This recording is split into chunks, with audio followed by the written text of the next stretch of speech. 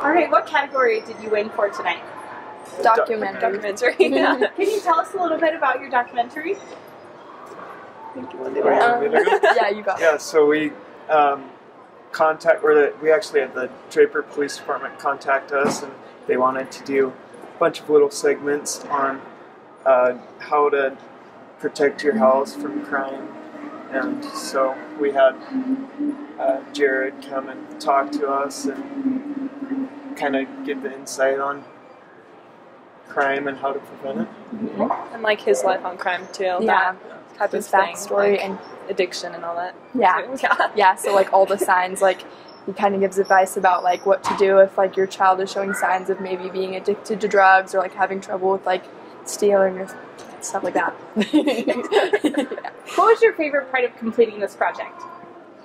I'm just tying it all together. We had like over two hours of film, so we were just trying to fit it all into the five minute time frame. What did you use for editing?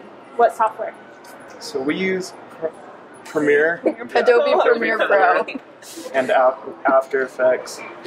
Yeah. Do you have any future plans for filmmaking? And if so, what? Um, Sure. Yeah. it, it's interesting.